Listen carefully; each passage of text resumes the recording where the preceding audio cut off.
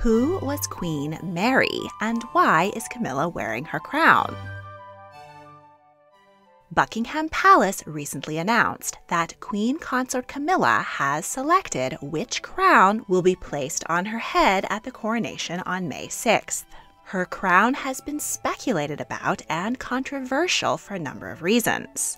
The last five queens consort had new, custom made crowns to fit their styles. But because of the cost of living crisis going on in the UK, ordering a new crown would be criticized as extravagant. Therefore, Camilla was expected to select from the antique crowns created for her predecessors, likely one of the three newest made for Queen Alexandra, Queen Mary, or Queen Elizabeth. I ran a poll on my channel in October to find out which crown you thought Camilla would select. The 1937 crown of Queen Elizabeth, the Queen Mum, was the clear winner with 36% of the vote. But Camilla surprised us all by selecting Queen Mary's Art Deco style crown from 1911. It was designed by Garrard & Co. and was purchased at the Queen's personal expense. It is set with 2,200 diamonds, which were recycled from other jewelry in the royal family's collection. The crown was designed with eight half arches instead of the usual four. This is a sensible choice for Camilla for several reasons. Elizabeth Bowes Lyon, the Queen Mum, was an iconic figure, and she died relatively recently in 2002. Her crown was displayed on her coffin and is strongly associated with her. Queen Mary died back in 1953, so her crown has more freedom to be associated with future queens. Of the three choices, Mary's is the most fitting to Camilla's style. At 5 foot 8, Camilla is quite tall compared to consorts of the past. Of the small, dainty tiaras in the royal collection, she tends to wear larger ones which better suit her stature. The Queen Mum was just 5'2, and her crown was small, so it might have looked like a miniature on Camilla's head.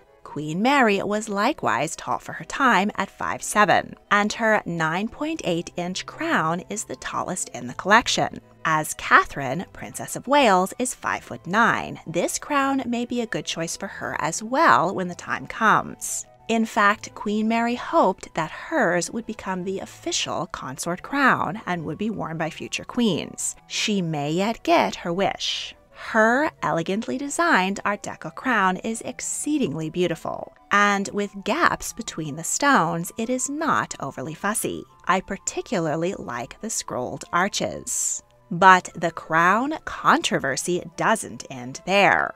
All three of the antiques Camilla might have chosen from were designed to contain the problematic Koh-i-Noor diamond front and center.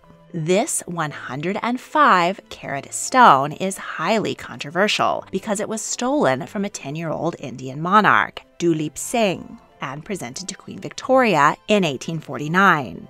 Since then, the governments of India, Pakistan, and Afghanistan have all requested its return and warned that the royal family's continued use of the stone is a painful reminder of the colonial past.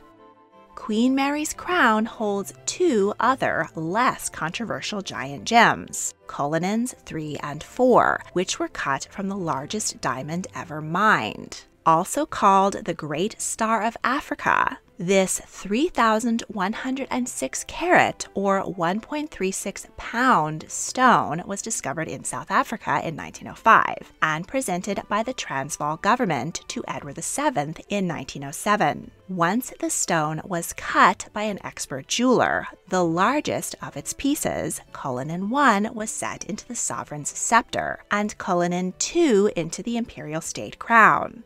They belong to the Crown Jewel Collection, while the seven smaller, a number of minor brilliants and unpolished fragments cut from the Cullinan were owned personally by Queen Mary. She wore her crown at the coronation of her son, George VI, in 1937, but she had to do without the Koh-i-Noor because it was in the crown of the new queen consort, Elizabeth. Mary wore her crown without the arches and mantle, and she added in the Cullinan 5 and shuffled the stones around to fill the Koh-i-Noor sized gap.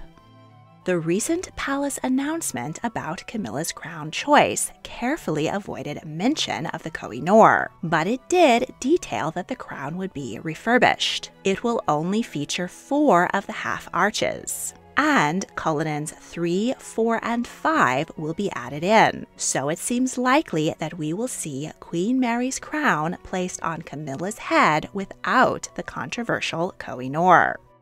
Queen Mary may not be as well remembered as her daughter in law, but she was a strong force within the British royal family and greatly influenced the morality and sense of duty her favorite granddaughter, Elizabeth II, was famous for the royal family have Mary to thank for the acquisition and preservation of several important pieces of art, antiques, and especially jewelry.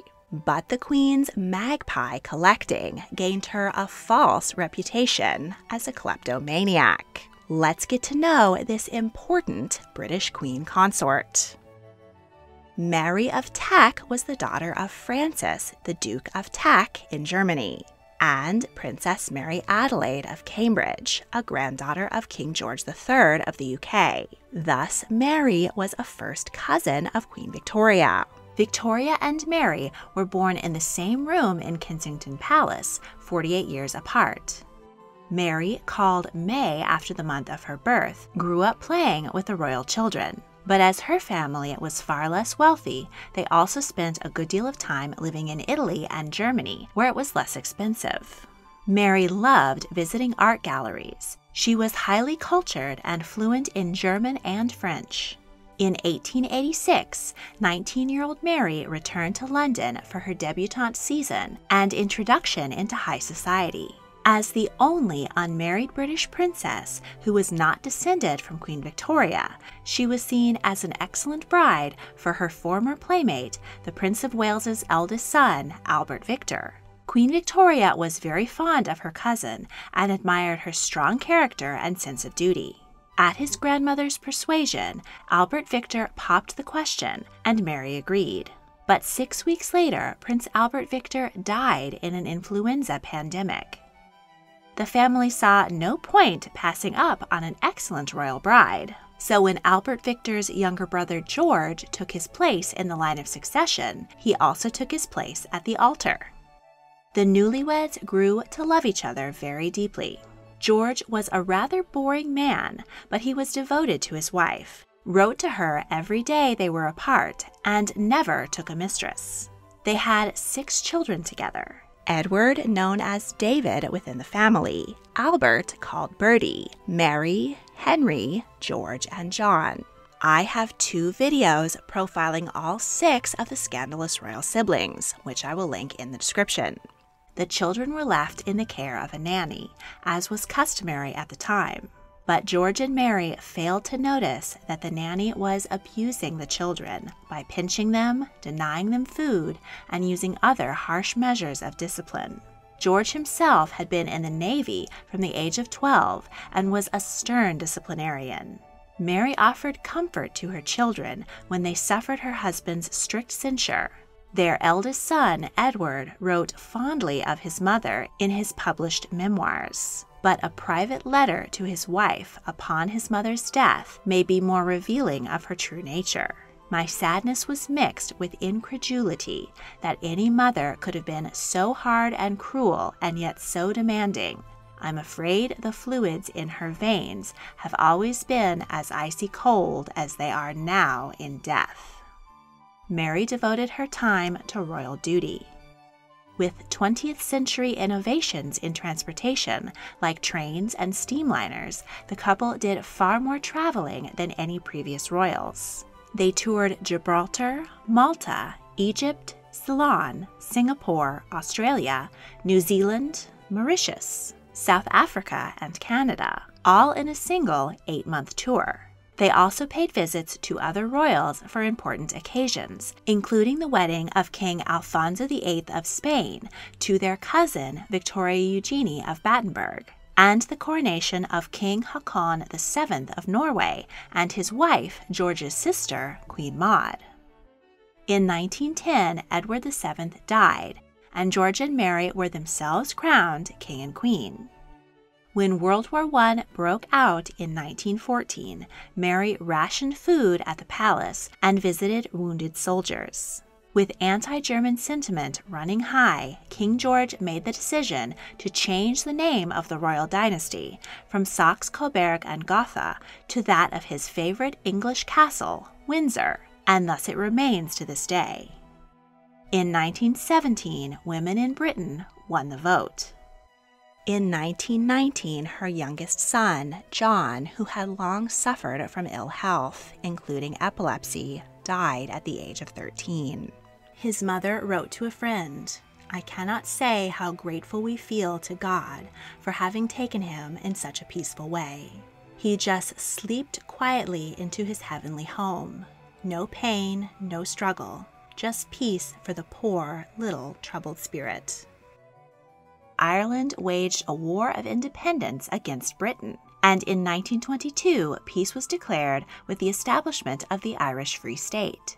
Northern Ireland opted to remain with Britain, so the nation became the United Kingdom of Great Britain and Northern Ireland. In the final years of his life, King George became increasingly ill with lung problems, exacerbated by his heavy smoking, and the Queen took particular care of him. He died in 1936 at the age of 70, and their eldest son became King Edward VIII. Edward had long been a notorious playboy and had resisted matrimony. The 42 year old king now had his heart set on marrying a twice divorced American, Wallis Simpson. The court, government, Dowager Queen Mary, and the people were all scandalized. Mary, in particular, disapproved of divorce, which was against the teachings of the Anglican Church, of which Edward was now titular head. She believed Wallis unsuitable to be the wife of the king. The prime minister advised Edward that he could not marry Wallis and remain monarch, so he chose Wallis and abdicated the crown. Mary never forgave her son for giving up his duty, and she threw her support behind her second son, who was crowned King George VI she was far more involved with the upbringing of her granddaughters, the future Queen Elizabeth II and Princess Margaret, than she had been with that of her own children. During World War II, King George worked tirelessly to keep up the country's morale, and his younger siblings, Mary, Henry, and George, all risked their lives to serve the war effort. Prince George died in a somewhat mysterious plane crash in 1942 at the age of 39. Queen Mary was evacuated to the countryside, where she and her large staff took over Badminton House, the country estate of her niece, Mary Duchess of Beaufort. Since childhood, Queen Mary had held a great appreciation for art. In her later years, she became enthusiastic about collecting art and antiques, especially those that had a connection to the royal family or had been part of the royal collection and had been given away as gifts. She became rather notorious for noticing beautiful things in other people's houses and strongly insinuating that she would like to receive them as gifts. And who could refuse a queen? As antique dealers' bills went unpaid and lords and ladies hid their best antiques ahead of a royal visit, the rumor spread that Queen Mary was a kleptomaniac. In 1952, George VI died at 56 the death of her third child greatly affected the 85 year old dowager. She left strict instructions that if she herself should die, mourning would not interfere with the coronation of her beloved granddaughter. Queen Mary passed away in her sleep on March 24, 1953 her coffin laid in state at Westminster Hall, where a large number of mourners filed past. She is buried beside her husband in the nave of St. George's Chapel, Windsor Castle. Ten weeks later, on June 2nd, Elizabeth II was crowned queen. She inherited most of her grandmother's jewelry, including the Cullinan stones. They have now been bequeathed to her son and are free to be used by his wife, Queen Consort Camilla. Want even more tea on history? Check out the History Tea Time podcast, available on Spotify, Apple Podcasts, and Google Podcasts. If you enjoyed this video, please like, subscribe, comment your thoughts, and check out my other royal history videos. If you really want to help, please consider supporting me on Patreon. A link is in the description. Thank you for watching.